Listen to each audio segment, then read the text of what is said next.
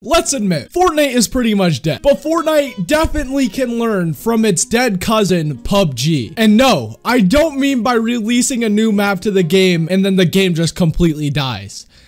Like Fortnite already did. But even with PUBG dying due to the game being slower than my cousin Tommy with 47 chromosomes, PUBG had something that not a lot of games did. Proximity voice chat.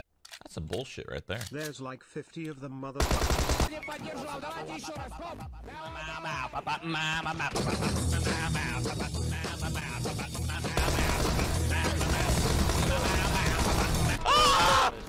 Please come on my. Please come on my ass.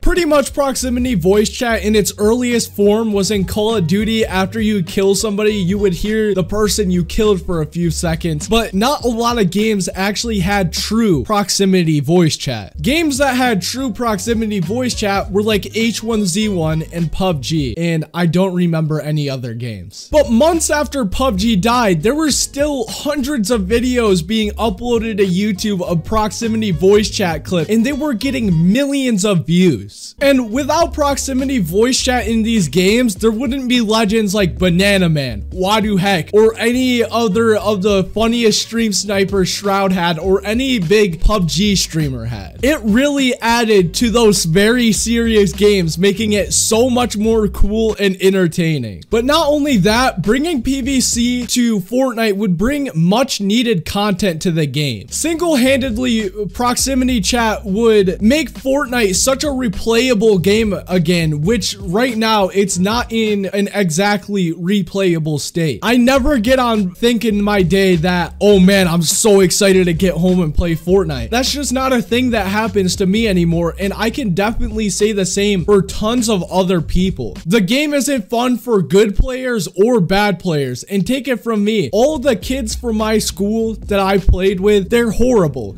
and none of them want to play the game. And it's not just because they're bad, it's because the game isn't interesting or fun anymore. And just as proof that proximity voice chat would definitely make Fortnite a more enjoyable game, I mean, I don't have to say anything. All I have to do is show you the clips and you could see how funny it is. Fucking cheater. Enjoy your bed. Shut the fuck up, bitch!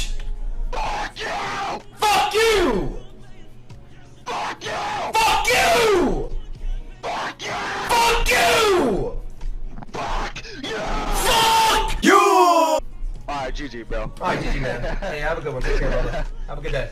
You too. If proximity chat was introduced to the game, there would be a reason for me to play solos. Like right now, there's zero reason for me to play a solo match at all, besides grinding out solo wins, getting a thou to a thousand solo wins. But guess what? I don't care about that. But if proximity voice chat was added to the game, damn, I would be so excited to play solos. And I can't even imagine how fun it would be that if you had a whole squad and you like shit on a whole squad, another squad, all of you just screaming in the mic back and forth at each other. And it's situations like that that make these games so freaking fun. And it's something that could potentially save Fortnite out of the horrible, what's an analogy? This literal shithole Fortnite's dug for itself the last like six months. Okay, did that make sense? I'm not really sure. Now, something you may say to this is that they would never bring proximity chat to the game due to there being such a young player base in the game. So why would they add proximity chat when there will be other people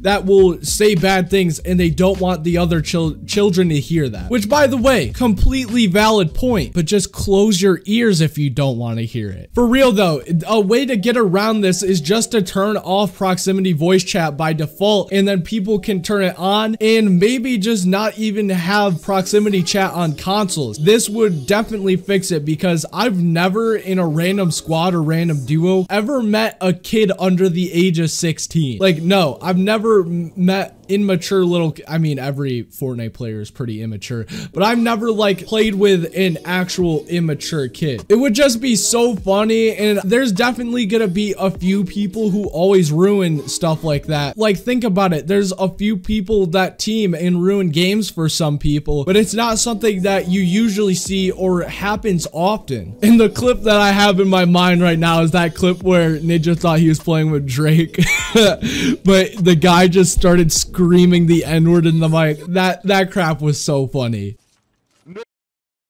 Well, there you go, dude.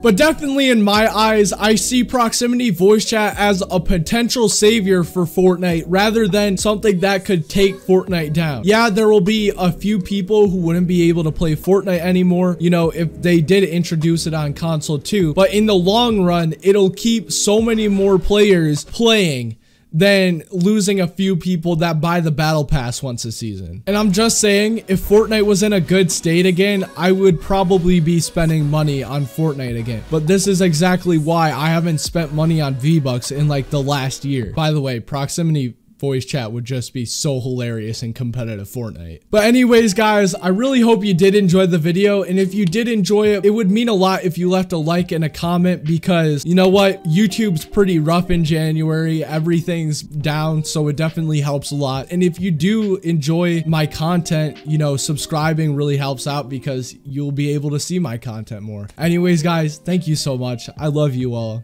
and peace.